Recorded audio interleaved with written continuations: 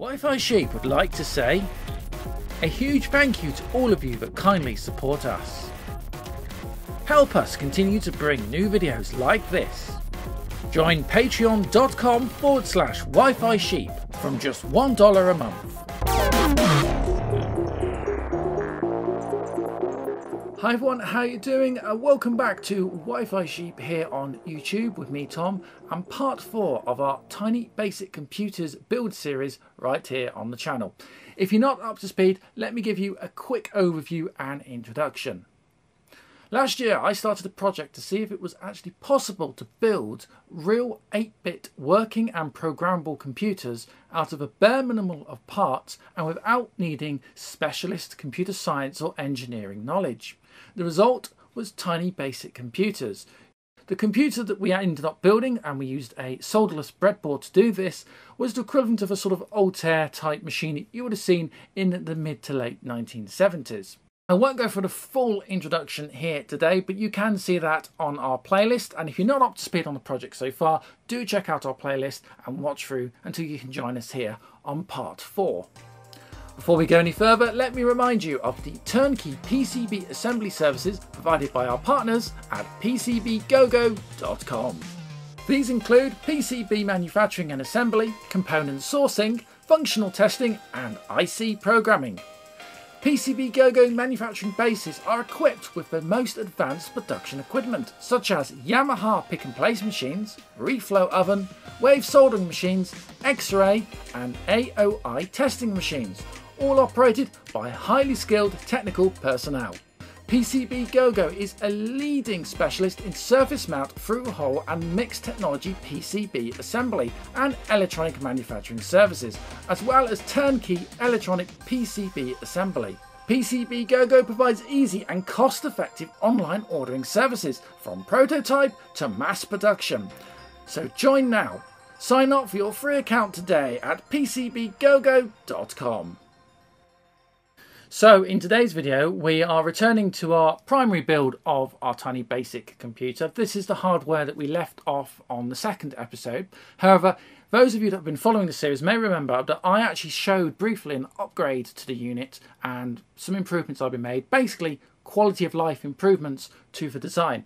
Well today we're going to go through those quality of life improvements and you can decide which ones, if any, you actually want to implement in your own builds.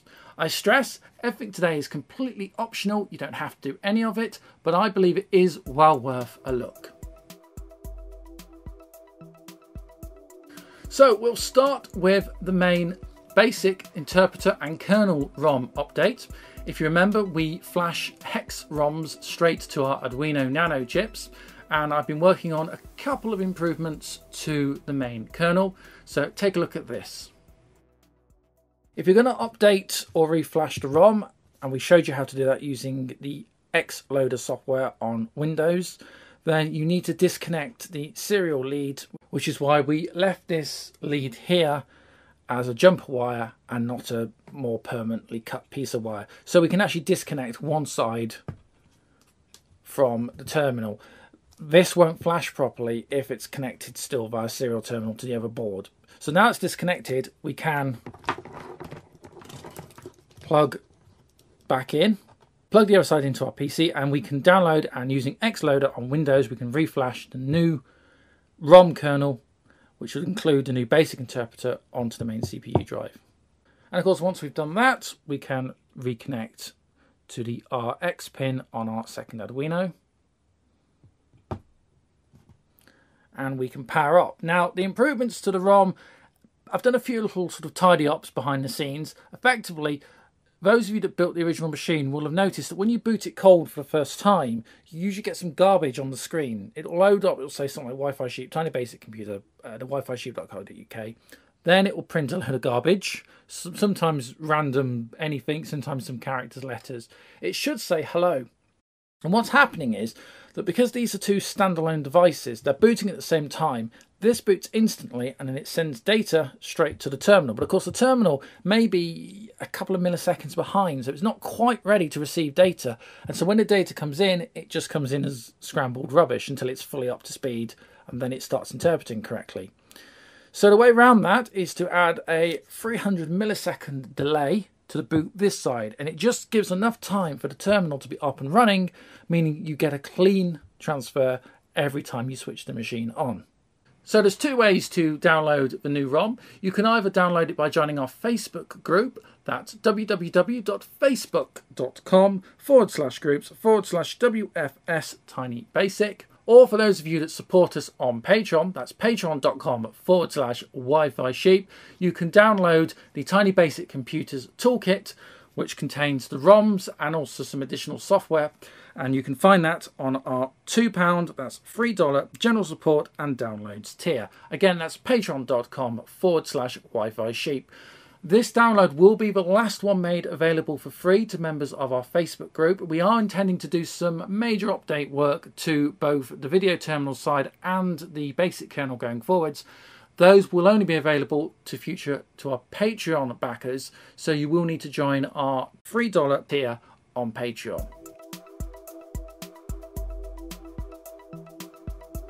Okay, so the second update is to do with the only capacitor we're currently using on the system, and it's this 104 ceramic disc capacitor.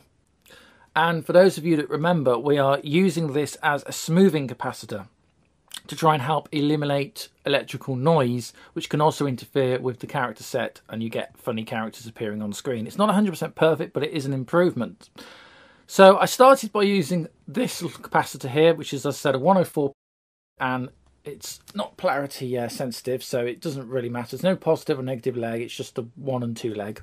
And we were bridging it just where the power comes off the main volts rail to go into the second nano. We were bridging it just there between negative and positive.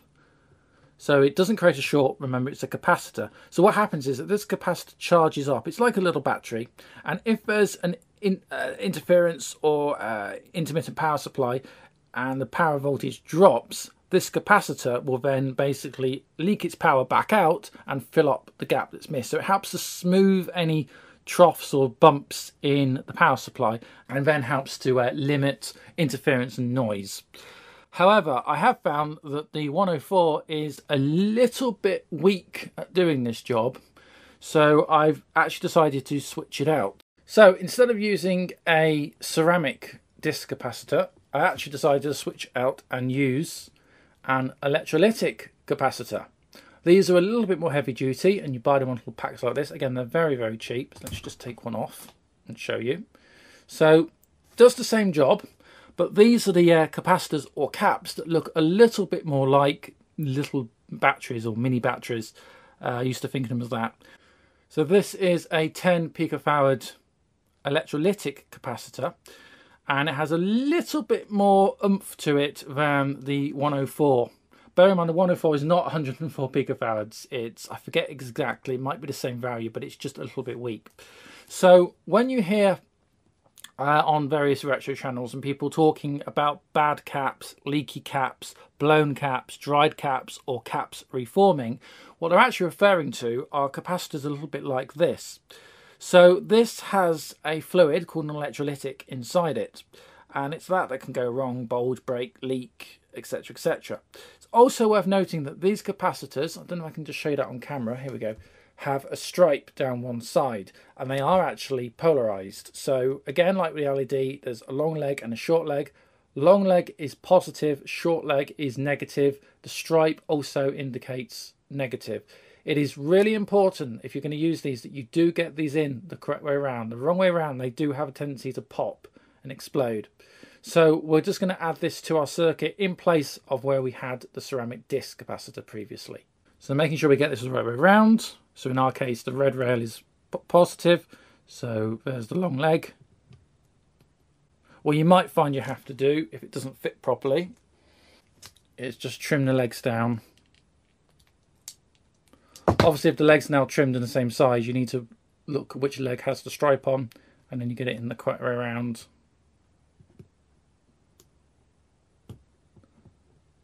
There we go. And that will help to minimise the amount of electrical interference on the board.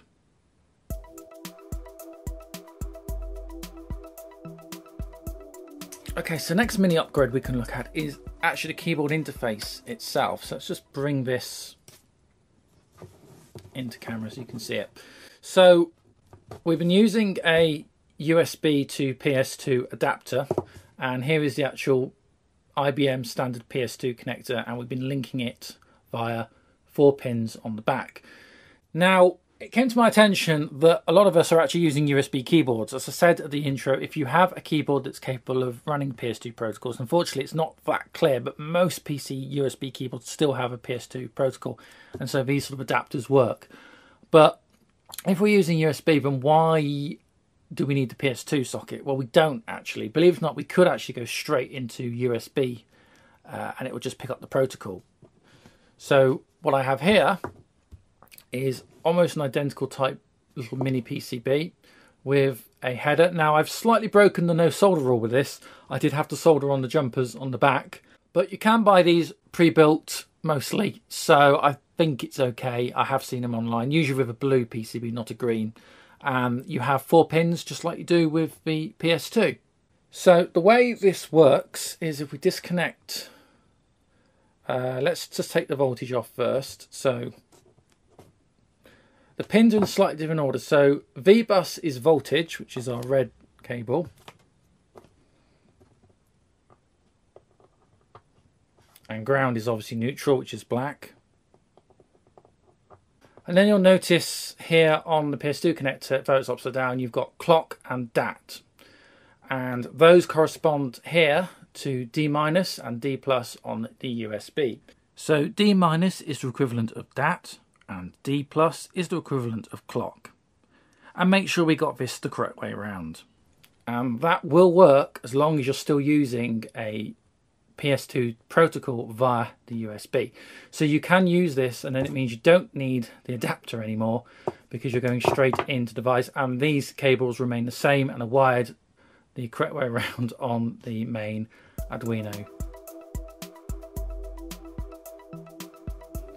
Next is a very simple modification that allows for an alternative method for generating sound. Now, it's come to my attention that many of you that are using the composite out don't have monitors capable of also taking the sound channel, so you're running in a, muted state effectively. Of course, the sound protocols loaded do use up a little bit of memory, so it'd be nice if we could actually use them. One solution to this, and a lot of the 8-bit computers of the era did this, is they actually had a speaker on board and generated their sounds completely externally of any uh, TV. We can do the same here. So in order to do this, we're going to incorporate a buzzer, and I have a new buzzer here. So this buzzer is a 12 millimeter buzzer with 8 millimeter uh, pin separation, or the space between the pins is 8 mil.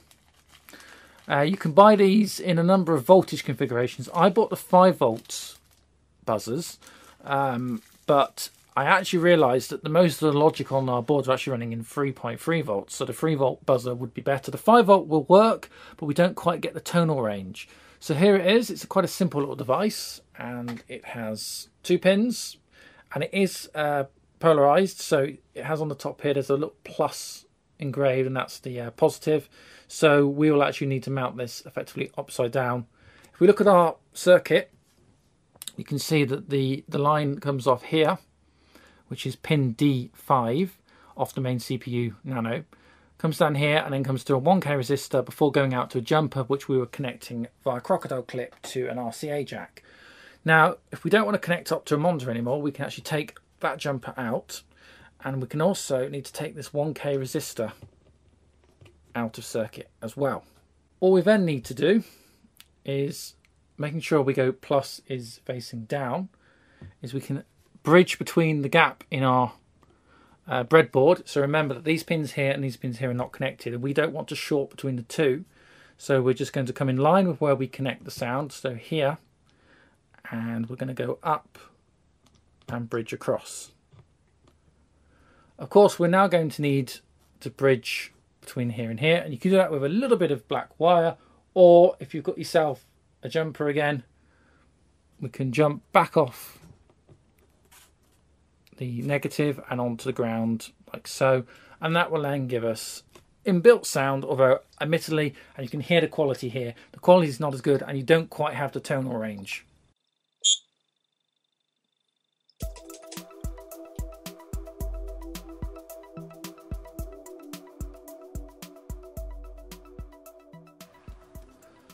And finally, I want to show you what I think is going to be considered quite a major upgrade. And again, this isn't at all necessary, but you might find it useful and it's kind of interesting for us to learn about this anyway. So, I was looking at the design, especially the side that we use for the video terminal, and to be honest with you, it seems a little bit wasteful to be using a whole nano just for generating video. The Nano, as with any Arduino board, have a lot of other features on board. So there's an EEPROM, there's a voltage regulator for outputting 5 volts and 3.3 volts, and there's a lot of RAM, etc. And most of this, including the GPIO pins, we're not actually using. So it seems slightly wasteful to tie a whole board up to generate just a video signal, which is effectively what we're using uh, this Nano for on our project. So I then started looking into the concept of could we actually replace this board with a single IC chip? And here it is. And the answer is yes, we can. You see, this chip here is the Atmega 328P, or PU to be exact. And it is effectively the independent standalone microcontroller microprocessor that powers the Arduino system. It's the same chip that you see here and also here, but here it's on a different form factor. So it's a surface mount square chip here, whereas this one is a more manageable, uh, what we call a, a, package chip or DIP package chip. And this is a, I think, 28 pin package chip. So it's quite a small chip, but it basically does the bulk of the functions we need without needing the entire Arduino. So what I'm going to do is I'm actually going to take our Arduino board out um, but if I might need to grab a flathead screwdriver just very carefully. If you haven't got a chip puller, what you can do is just put a flathead screwdriver into the groove under the board and just gently pull upwards evenly on both sides. And we can remove our nano board and in a moment we will put our chip on but first we actually have to flash the terminal hex ROM to this chip.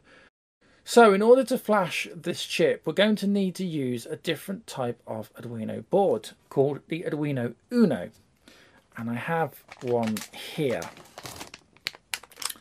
Now the Unos are pretty much identical in uh, architecture to the Nano. It's just a larger board with uh, a different setup uh, and more GPIO pin access.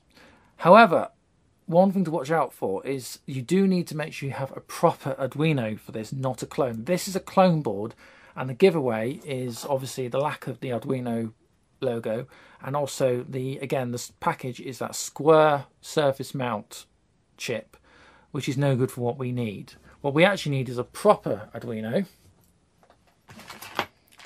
And I have one here. So you can see this one has the full Arduino Uno brand.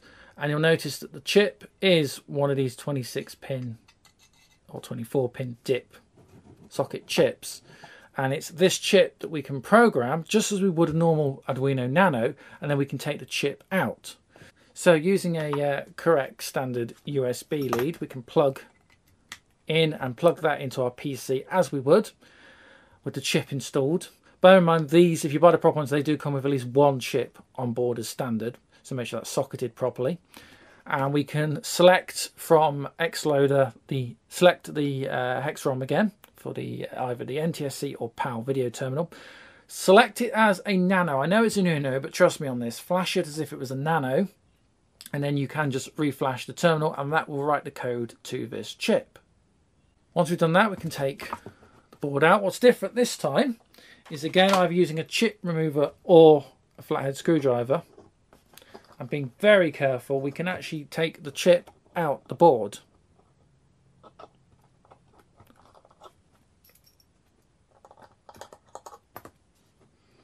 And when dealing with chips, try not to touch or pick up the legs. So there we are. There's the chip out.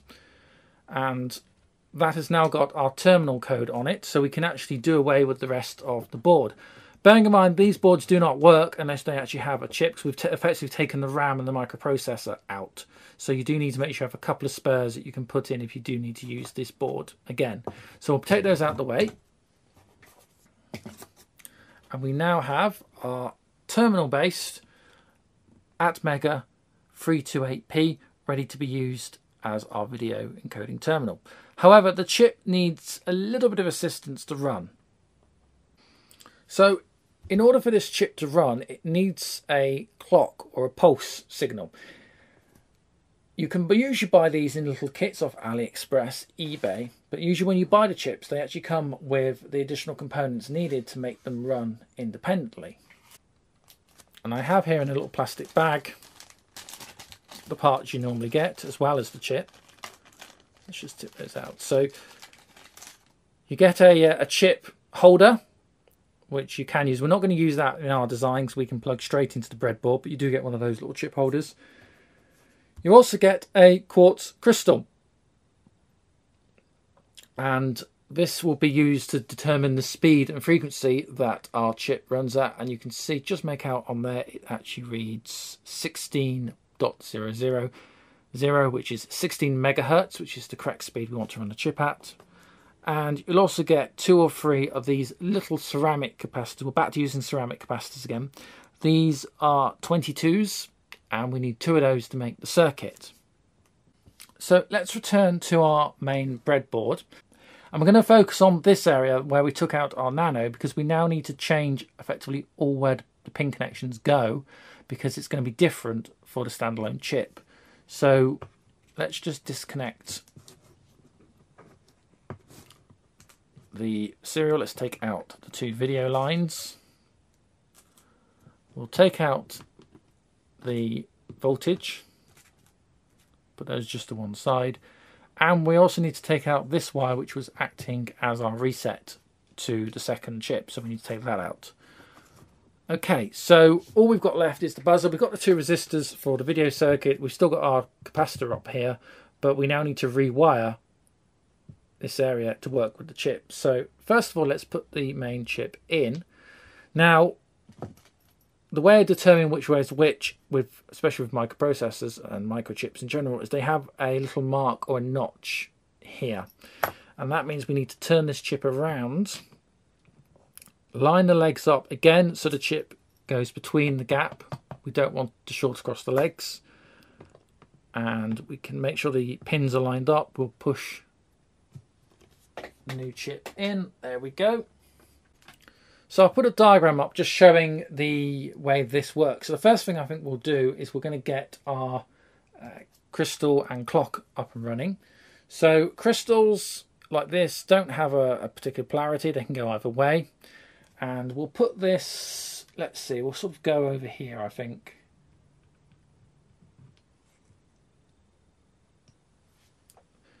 And then what we need to do is each side of this crystal needs to be sent to ground. So we'll take our tiny little 22 um, ceramic capacitors and we'll bridge from ground to one leg and we'll bridge from ground to the other leg. And again, this is really fiddly to do, especially when you're behind a camera, can't see straight. So now what we're going to do is we're going to bridge the other side of the legs to two pins on the chip. And these are pins 10 and 9. Now there's no markings on most chips to tell you which these are. So we need to count backwards. So from 14 here, we go 14, 13, 12, 11 and 10. So 10 should be here.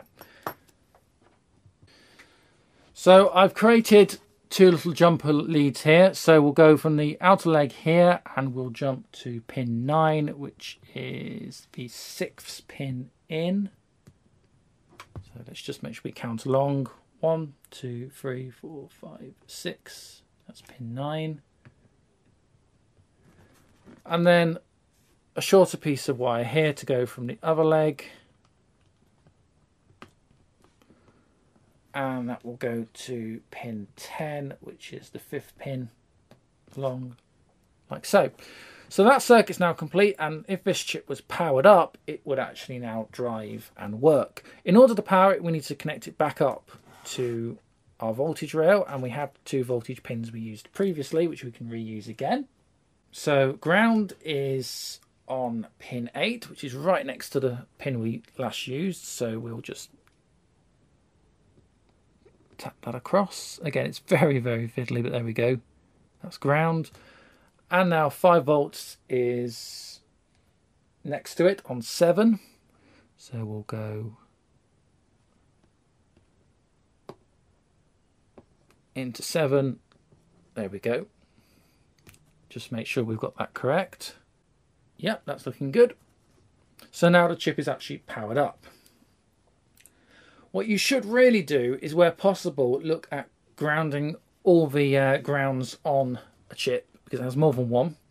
So there is another ground on this side at pin 22, which is seven along.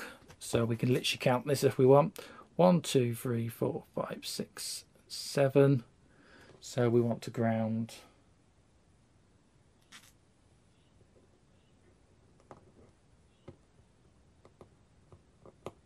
There we go. And we can ground like so into 7. So now we need to attach our reset line back up. So you remember our button that we pressed that forces a reset? Well, there's no button over here to press. So we've got the pin empty here on the reset switch. And we're going to put a new line in from here. And reset is on pin 1. And pin 1 is actually denoted by another little black mark here.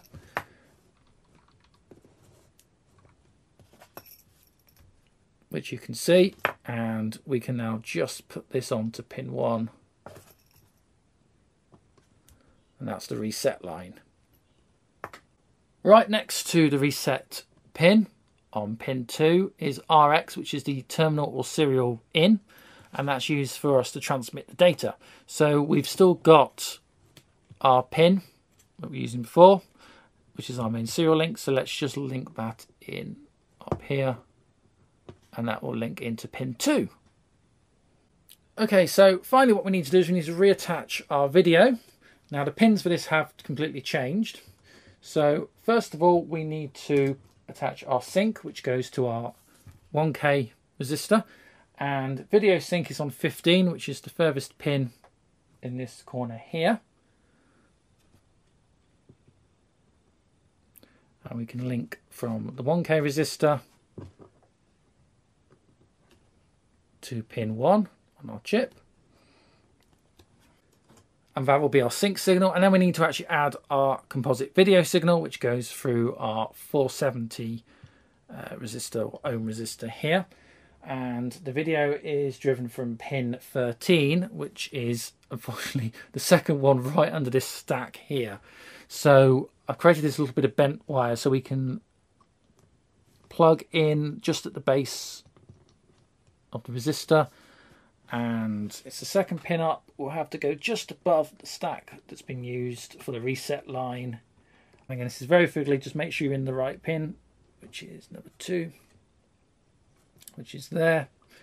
And that's now in.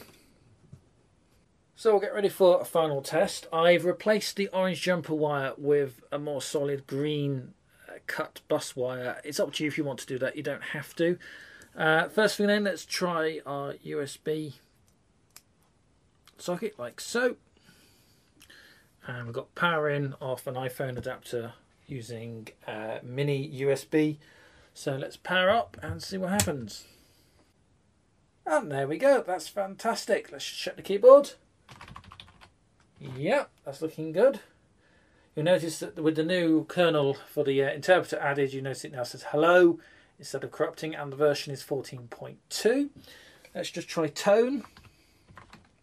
Let's say 200 comma 100 yep you heard that. So tone works. Again it's very screechy on the buzzer. But uh, yeah that all seems to work really really well so I hope you found that interesting and it gives you some ideas of things you might want to try implementing if you're following along with the build. I have to say the feedback so far and the response to the Tiny Basic Computers project has been absolutely awesome. I'm really excited about the project and I've got big plans to push it through 2021, 2022 and beyond. As always, if you're brand new around here, thank you so much for your company. Don't forget to like and subscribe. And again, a reminder of the Facebook group if you want to join in with the community. It's free to join, and there you can get hold of the free ROM downloads. Again, the address is facebook.com forward slash groups forward slash WFS Tiny Basic. But until next time, and as always, keep safe. Thank you so much for your company, and I will see you real soon right here on the channel. Until next time, bye for now.